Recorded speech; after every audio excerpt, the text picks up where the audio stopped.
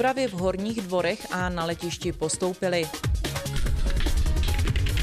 Čtvrtý ročník Street Games vybíral peníze na dobročinné účely.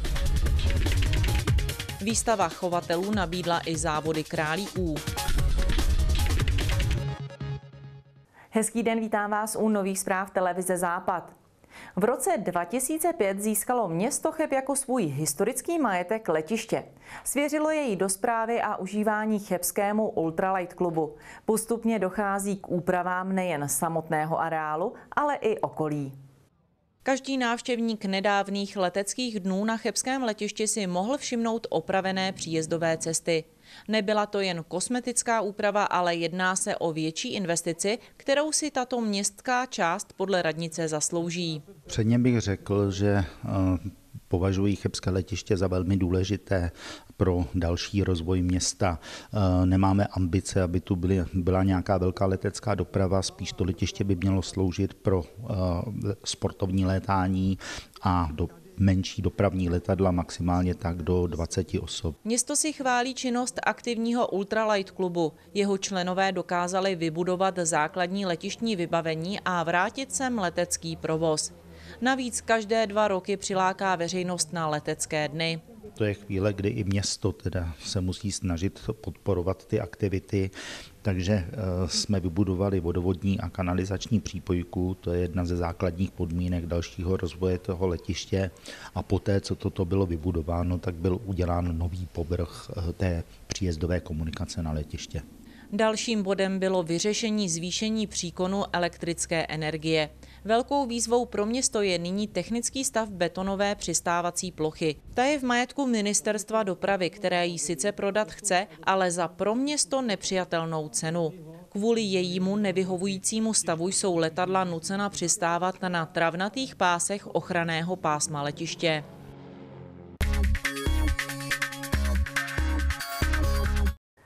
Vzrůstající zájem veřejnosti o sport se kromě velkých měst projevuje i na regionální úrovni. Za zajímavým příkladem jsme se vydali do podhorských Kraslic. Soutěž pod širým nebem Street Games Kraslice měla o víkendu svůj čtvrtý ročník. Počasí se vydařilo a tak si sem během dne cestu našlo podle organizátorů okolo 500 lidí. A v jakých disciplínách se letos bojovalo? Je to basket 3 na 3, fotbal 3 na 3, chceme to udělat jako pouliční variantu eh, těch, těch sportů. To znamená, eh, chceme i další, další sporty přidávat.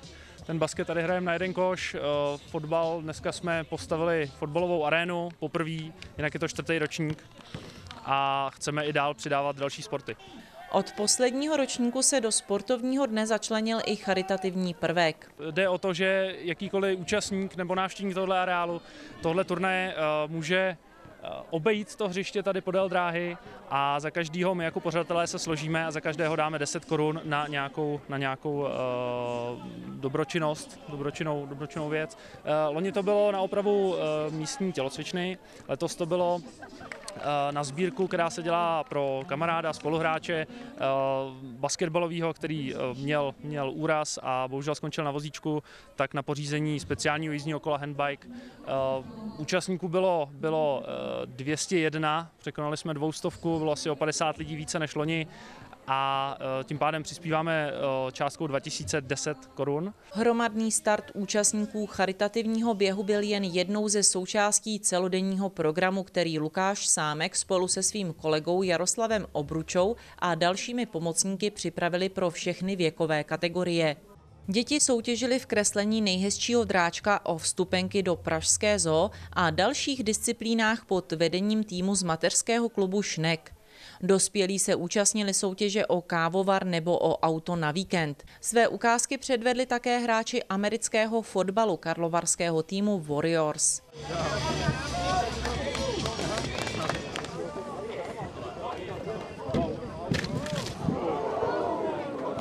Nechyběli karatisté z nedaleké Rotavy.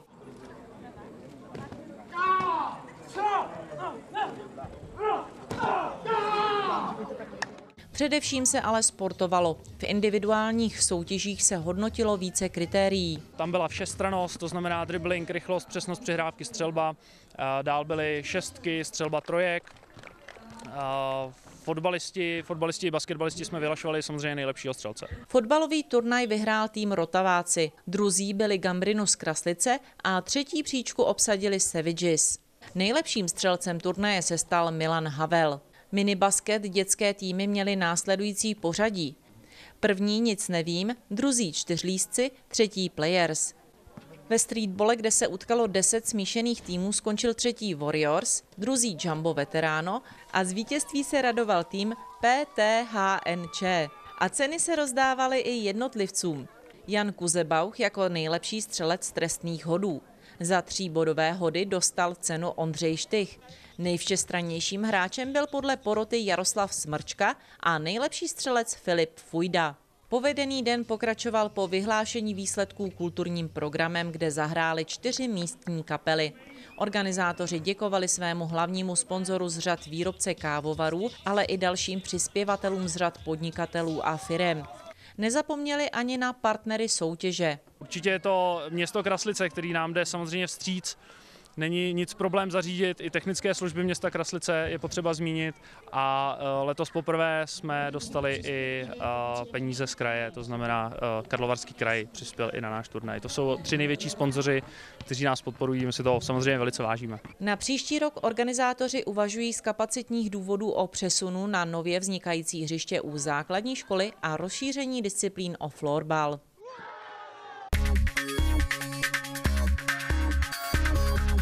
Mimořádná akce pro všechny chebské hasiče se chystá na tuto sobotu. Jejich ředitel k nám přišel do studia, aby představil, o co se jedná. Sobota 13. září od 10 hodin bude na Chebském náměstí patřit hasičům. Proběhnou zde oslavy 150 let od založení místního hasičského sboru a připraven je velice atraktivní program. Ten začne úderem 10. hodiny a po oficiálním zahájení s představiteli města a hasičů přijde na řadu samotný program. A ta první ukázka bude činnost lezecké skupiny, eh, což si myslím, že bude dost zajímavý eh, už jenom z toho hlediska, že to bude záchrana osoby eh, z věže galerie města pomocí lanové techniky. Také se předvedou ve spolupráci s dobrovolnými valcasenskými hasiči při likvidaci dopravní nehody. Dále pak je hašení eh, dřevěného objektu a poslední ukázka, kterou budeme končit ten den, což je někde kolem páté hodiny eh, bude eh, záchrana osoby z městské radnice pomocí automobilového žebříku. K velkým lákadlům budou patřit vystavené technické zajímavosti. Z Hlučína přijede největší a nejvyšší jeřáb Hydrokon HK240 i transportér na přepravu osob při povodních. Raritou bude velký čtyřkolový bagr na dálkové ovládání pro nebezpečné situace, kdy například hrozí zřícení poškozeného objektu. Budeme tady mít kombinovaný hasicí automobil na podvozku Scania, což je velice zajímavé auto, zajímavý automobil, spoustu výškové techniky, ať eh, automobilových žebříků s košem nebo eh, plošiny. Ehm, čluny hasičské tady budou. Chybět nebudou stánky s technickými prostředky. U nich si veřejnost vyzkouší nejen, jaké to je hasit v obleku, ale i hydraulické vyprošťovací nářadí i vystříhávání kusů automobilu. Pro děti a mládež hasiči připravili soutěže s bohatými odměnami. Na náměstí mají být i kolotoče a skákací hrad zdarma. Asi takový bombónek doprovodního programu bude od tří hodin by měla vystoupit eh, kapela eh, Kabát Revival. Velké přípravy si vyžádali také velké úsilí jednotlivců i organizací. Já bych rád poděkoval za organizaci určitě eh, městu Cheb, které víceméně je spolupořadatelem, spoustu sponzorům, což jsou hlavně místní firmy, tady Chebská, Eh, hasičský záchranný sbor, který to víceméně celé organizuje a samozřejmě eh, spoustu lidí eh, ze stanice Cheb, příslušníci hasičského záchranného sboru. Po celou dobu našeho rozhovoru vám ukazujeme obrázky z připravované publikace o 150-leté historii chebských hasičů. Ta bude k dispozici pro zájemce v Den oslav je teď momentálně v tisku. V den těch oslav určitě bude k nahlédnutí eh, různě eh, na těch našich stánkách a případně, kdo by měl opravdu velký zájem, tak je možný tuto knihu i dostat. Myslím si, že po ukončení těchto oslav bude i za menší poplatek prodáván i v infocentru města Chebu. Tak si nezapomeňte v sobotu udělat čas a přijít se podívat na oslavy výročí hasičů. Bude na co koukat. Čtyři akce ve dvou dnech na jednom místě mohli lidé ze širokého okolí navštívit v Kinčperku nad Ohří. Hlavním jmenovatelem bylo chovatelství.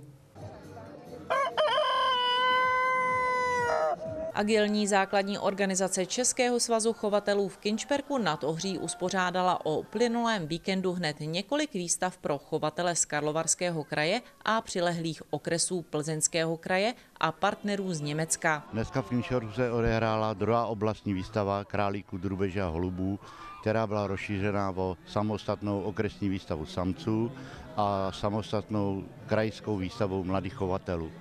Navíc jsme tady měli krajskou výstavu králíků, tedy, což je novinka, co se moc nevidí, takže jsme tu ukázku tady udělali. Máme radost, tu holandskou výstavu navštívilo asi 830 lidí, návštěvníků, no letos to jde přes 12, takže máme velkou radost, počasí vyšlo. Zvířat bylo vystaveno kolem 600 kusů. Mezi nimi zaujali nejvíc právě králíčci tedy. No a takovou realitu jsme tady měli, jsme předváděli králíčí hop což je vlastně olympiáda jako v atletice, tak tady to máme králíky. A zase mám radost, je to naše chovatelka. Na překážkou dráhu, 16 překážek, skok vysoký, skok dálky. Hrozně se to líbilo dětem i dospělým. To je novinka, kterou tady zavádíme v rámci klubu mladých chovatelů, kterou máme u nás v organizaci. Město tuto činnost podporuje, obzvlášť když vidí, kolik lidí se jí a s jakým zápalem věnuje. Nad akcí převzal záštitu hejtman kraje, který osobně také předával ceny vítězům. Tato organizace vznikla zhruba dva roky zpátky. Ona ta organizace u nás v Kinšperku fungovala, ale bohužel zanikla a máme zde takové nadšence, kteří přišli a řekli, prostě, že by bylo dobré tuto, tuto činnost obnovit. No a samozřejmě funguje dva roky a výsledek vidíte tady sami. Kromě cen pro vítěze ocenili pořádající chovatelé také svou členku, která za necelé dva roky odpracovala 12 hodin pro svou organizaci. Ta dnes má v Kinčperku téměř 50 členů a patří mezi největší v krajích Karlovarském i Plzeňském. Kromě soutěže chovatelů byl pro návštěvníky po oba dny připraven doprovodný program, prodejní stánky i výstava veteránů. Na příští rok se domlouvá také spolupráce s chovatelem exotických zvířat, které by zpestřily nabídku doprovodného programu především pro děti.